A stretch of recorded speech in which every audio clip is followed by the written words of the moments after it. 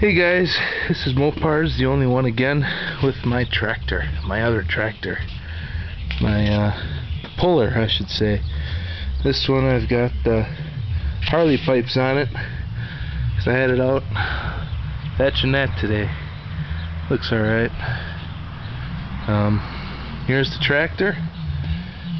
Here's how it sounds like running.